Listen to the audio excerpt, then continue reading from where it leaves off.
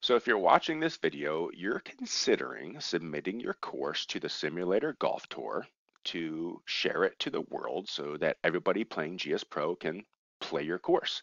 Um, just so you know, Simulator Golf Tour is the one that hosts the files, and then GSPro is the software, and you would pull your course down from the SGT host files and then play it. Um, at this point, I would get, drink a beer to you if it wasn't like 6.30 in the morning and say congratulations well done on making it to this point. Um, it's not easy. It's a long road so uh, congratulations and also thank you for um, sharing your course to the world. So how do we go? Let's see. Let's go to if you want to submit your course let me show you how to do this. So if you go to the simulatorgolftour.com now, maybe you have an account ready because you play on the Simulator Golf Tour inside GSPro. Maybe you don't, but you do need an account. You do not need to sign up and pay for Simulator Golf Tour to submit a course. So up here, you see this little gray generic person icon. You're going to click that down arrow and you're going to click sign up. You're going to put in your username, whatever username you want, email, confirm password, confirm password. Your username, I would suggest you use your Discord handle um, you don't have to. I use Master Blaster.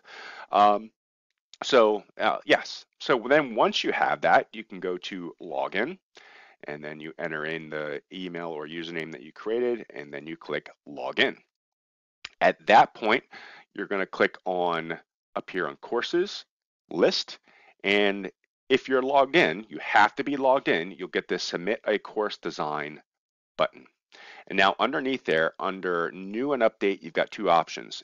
If this is their first time submitting the course, if you're watching this video, it probably is, you're going to select new course. However, if you need to submit an update, let's say you find something wrong with your course, you just want to make it better looking, you can go to course update and do the same thing.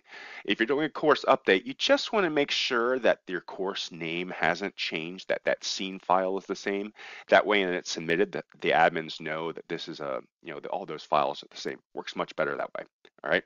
So, but we're going to do new course. First thing you do, select text file for your course details. This is going to be in the course file folder that you created through Greenskeeper. So remember, use Greenskeeper and then Greenskeeper created a bunch of files in that folder where your Unity file, your encrypted Unity file resides. So I am, uh, I save these in my built courses directory. So wherever, when you um, did Greenkeeper and you did your Unity build, remember you sent uh, that Unity file to a particular folder inside of your computer somewhere, and then Greenkeeper, you were working inside that folder where your Unity file is. So that's where this course detail file resides. So here's a bunch of my course builds. Let's look at Kapalua. And you can see when I go in there, my course details text file is in there. So I'm going to select that. excuse me, course scorecard. So this has to be a JPEG and you're going to choose the Imperial scorecard. So in that same folder, here are my uh, images in there. So here's my Imperial scorecard. I'm going to select that. Splash screen, same folder. This has to be a JPEG. So there's the splash screen that I created for Kapalua. I'm going to select that. And then I got my download link. So what that is going to be when you, let me see, let me go to my built, let me show you my file explorer here. So here are my course builds. So if I go into Kapalua, you can see here's my uh, my course details folder that I just added. Here's my uh, scorecards. Here is my uh, my Unity file that I built. Okay, I'm going to go up one level and I'm going to right click on Kapalua and I'm going to say compress to zip file. And then when I do that, you're going to see that it's going to create this new file called Kapalua underscore zip. I'm going to cancel this because I've already done it.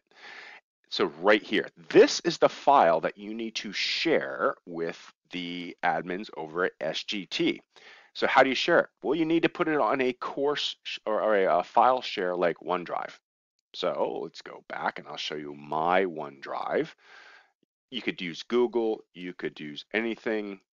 Uh, one, I should have logged in a little bit quicker. Okay, my files. So here's where I upload my build files, built courses. And you can see, so here's Kapalua, but this is not the zip file. Here is the zip file. So it doesn't matter what file share you use, and it, this is different from beta. In beta, the link you share is where the beta users are downloading your file. In here, this is just used the admins will pull down your file and then they will upload it to their file servers, okay? So you just need to share this with them and make sure that they can download the file. So I'm gonna click on this share. Um, I'm gonna say, I don't like people to be able to edit. I just want them to be able to view it. So apply that. And then there's my link right here. I'm gonna copy that. You do not need to make any changes to that link like you did in beta. Okay, so I'm going to paste in that download link. The tips are the longest tees. So in my case, it was the black, but just make sure you know which tees are the longest. You can always look in your Greenkeeper scorecard if you're not sure. And then what you would consider the normal men's tees. In my case, it's blue. And then I would hit submit here. Now I'm not going to do that because this isn't in your course and not want to mess with the admins here.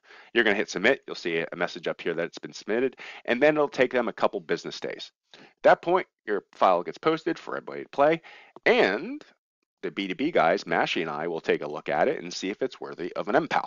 All right. So again, congratulations. Thank you for submitting your course and sharing it with the world.